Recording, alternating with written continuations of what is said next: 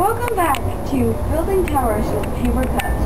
So far, we have gotten up to 10 layers. Yes, that's right, 10. 1, 2, 3, 4, 5, 6, 7, 8, 9, 10. That's 10 layers. And we started out with 9 cups in the bottom. And we got to 10 by adding an extra row on the side. You can't tell because I've got my mask.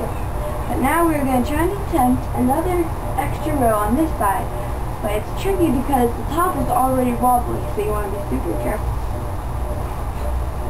You want to be careful when you get up to the top. But right here is the danger zone.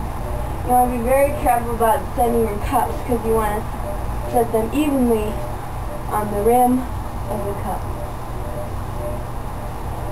See that? It's shaped.